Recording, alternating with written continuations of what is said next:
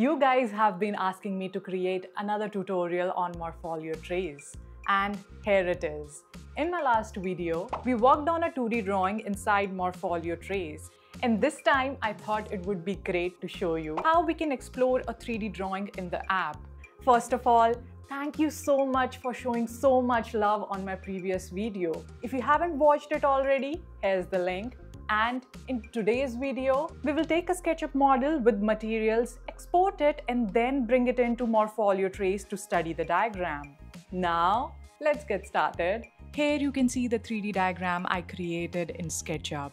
Now, I'll go to the top menu bar, click on File, Export, 3D Model, choose the USDZ file format, and save it to my iPad.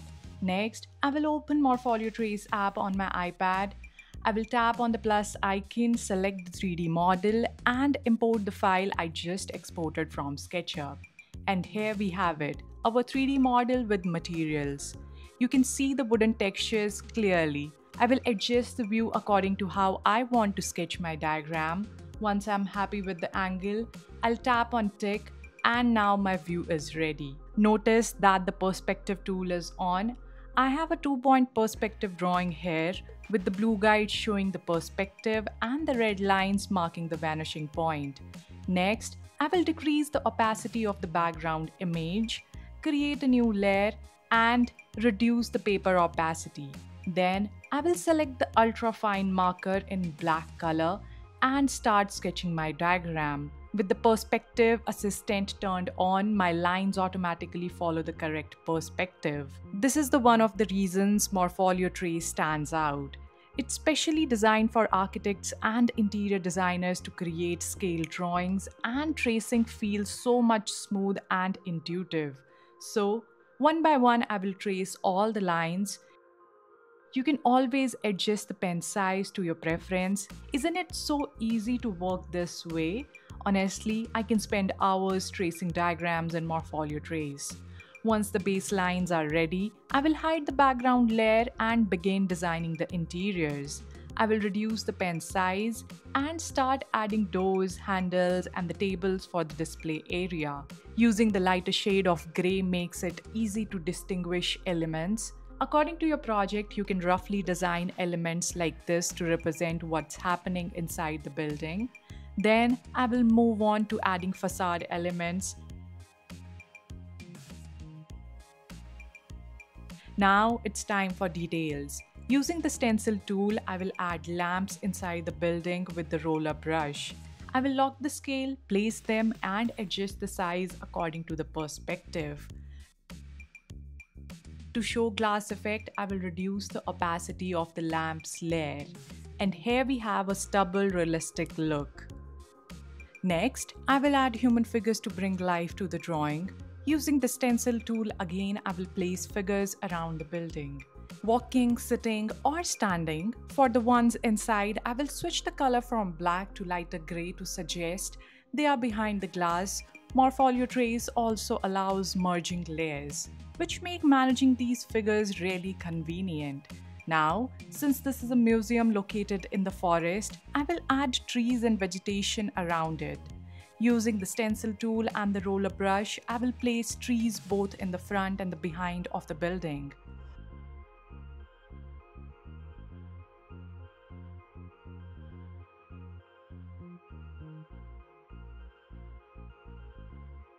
For the trees visible through glass, I will use the lighter grey color, while for the outside ones, I will keep them darker for the contrast.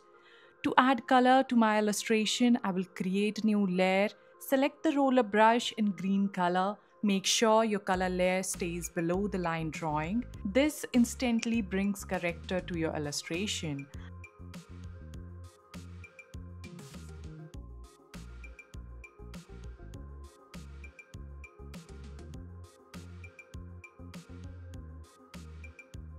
After that, I will add shadows. On a new layer, I will take the roller brush with the black color, reduce the opacity around 30% and sketch shadows under the deck, trees and the human figures.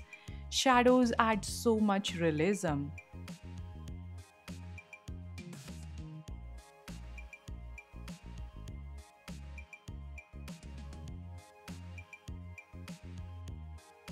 For the glass, I will use the hatch tool with no fill and reduced opacity. I will give the glass panels a lighter grey tone, adding depth and a true 3D effect. To finish the structure, I like adding bold outer lines to frame the diagram. These thicker outlines give a hand-drawn character and make the sketch pop.